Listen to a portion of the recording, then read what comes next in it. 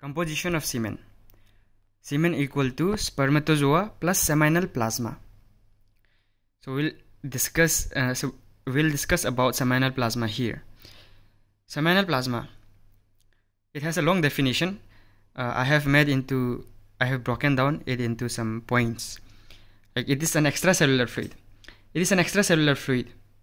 It is a medium vehicle for spermatozoa and it contains mixture of secretions from male reproductive accessory sex glands.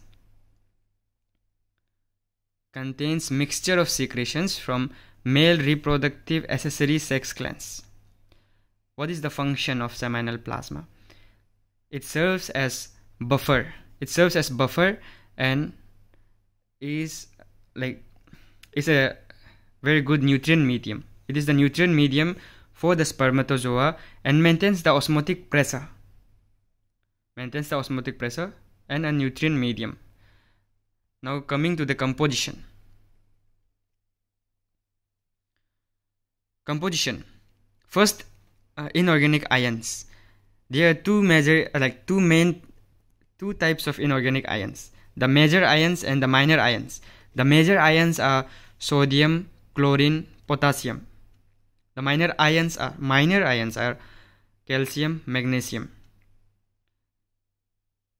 See the potassium and sodium ratio potassium and sodium ratio are high in sperm cell. So here i have made a picture depicting it like just to make it easier to remember. It is the sperm cell and inside the sperm cell the ratio like potassium and sodium ratio is there like is high. But it is low in seminal plasma it is low in seminal plasma. So what's the function of this uh, inorganic ions? The function is to maintain optimal osmotic pressure for sperm survival. It maintains the osmotic pressure. The next uh, composition is the buffering agents. The next composition is the buffering agents. Buffering agents. Principal organic ion as buffering agent is the bicarbonate ion. Bicarbonate ion. Bicarbonate ion it is secreted by vesicular gland. Vesicular gland.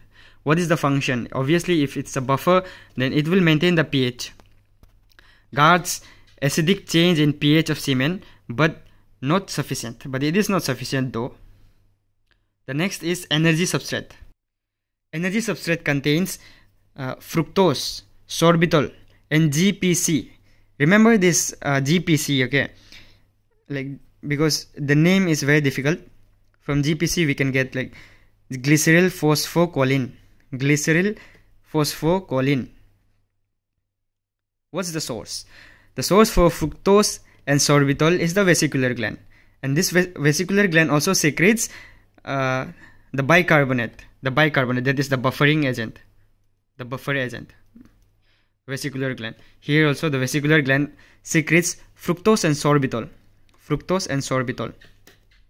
Then GPC is produced by epididymis. GPC is produced by epididymis. Metabolism. Fructose is metabolized under both aerobic and anaerobic conditions. Fructose is metabolized by both aerobic and anaerobic conditions whereas sorbitol and GPC used only aerobically. Used only aerobically. One more point you need to remember here is that GPC cannot be used metabolized as such. So GPC is like utilized after being converted into choline and glyceryl phosphate. Glyceryl phosphate. Glyceryl phosphate by an enzyme present in the uh, in the female genital tract. So sometimes we get confused about uh, like with the name GPC. Earlier it was GPC, right? GPC it gets break it's it gets broken down into choline separately choline and then after choline it the other part is glyceryl phosphate. See gp gp glyceryl phosphate. Gp glyceryl phosphate. Okay.